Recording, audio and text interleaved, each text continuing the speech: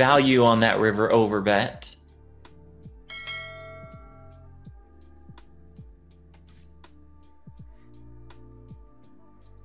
Sky City Auckland, yeah. Um, there's a couple of nice employees, but it is a terribly run business. Yep. Sky City. Shout out my guy Frank, man. I like Frank. Sky City Auckland.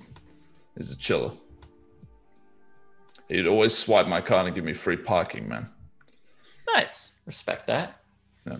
You know, it's weird. a good dude anyway, but yeah. This new downtown place uh, in Vegas that opened, Circa, uh, fantastic establishment, really nice resort, and they charge for parking. And I just thought that was a weird PR move when you're opening up a new spot. Um, Just donk as fuck, in my opinion.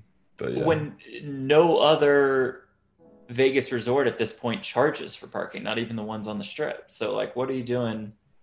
maybe parking? maybe there's like a classiness angle.